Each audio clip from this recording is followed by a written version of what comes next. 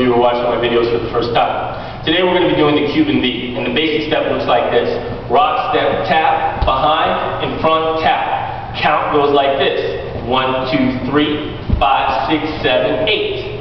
Okay, and that's basically the basic. I'm going to combine this two times slowly, and then there's going to be a quick, um, quick time of this with no breaks, and then I'll have a third phase. So the first two phases are going to look like this.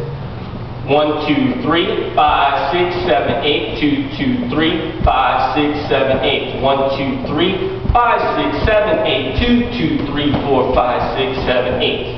Okay, so we're just going to double up the time on that last part. The third phase is going to look like this. One, two, three. Behind, side, hold.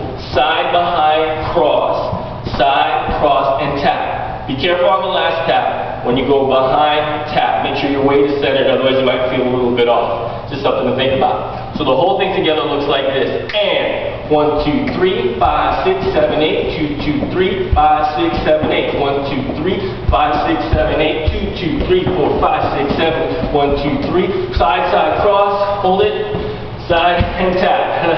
I'll make sure I'll try to say that all quickly together a little bit. So with the music and no discussion, just feeling the rhythm, here's how it really rolls.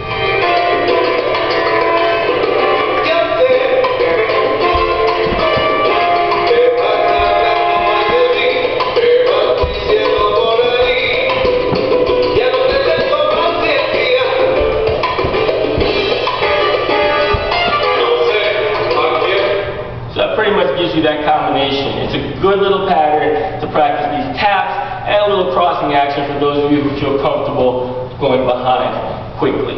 I hope you enjoy it. As always, leave a comment, let me know how I can help you, send me a message. I'll be more than happy to discuss whatever. Thanks for watching.